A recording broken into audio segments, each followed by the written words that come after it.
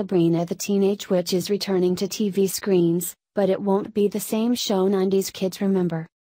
The kids' sitcom is getting a Riverdale style reboot and will be called The Chilling Adventures of Sabrina, according to Variety. Riverdale is an American teen drama and dark reimagining of Archie comics.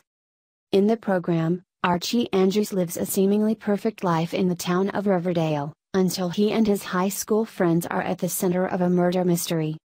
Now the CW and Warner Brothers Television are working on a one-hour spin-off episode, featuring Sabrina, to air in 2018-19. Her iconic show ran for seven years, from 1996, and was based on the Archie Comics series of the same name. According to Variety, the series is described as being tonally in the vein of horror classics like Rosemary's Baby and The Exorcist. And, it, will see Sabrina wrestling to reconcile her dual nature as a half witch, half mortal while standing against the evil forces that threaten her, her family, and the daylight world humans inhabit. Habit. Scores of excited fans have taken to social media to rave about the announcement. Among them was Peter Parker, who wrote, Sabrina the Teenage Witch is being remade y'all hear me screaming.